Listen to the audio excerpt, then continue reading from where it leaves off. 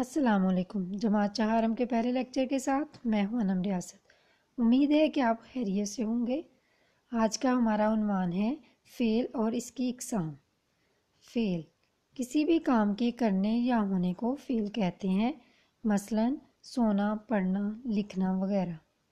فیل کی اقسام۔ زمانے کے لحاظ سے فیل کی تین اقسام ہیں فیل ماضی فیل حال فیل مستقبل۔ سب سے پہلے ہم فعل ماضی کے بارے میں پڑھیں گے۔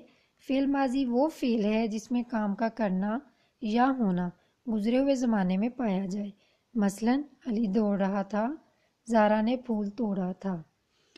یعنی جو کام آپ گزرے ہوئے زمانے میں کریں، اسے فعل ماضی کہتے ہیں۔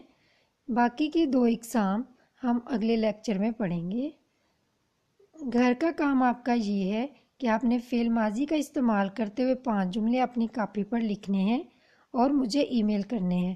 ای میل کرنے کا طریقہ یہ ہے کہ آپ نے اپنے کام کی تصویر کھینچ کر اپنے والدین کی مدد سے مجھے ای میل کرنی ہے۔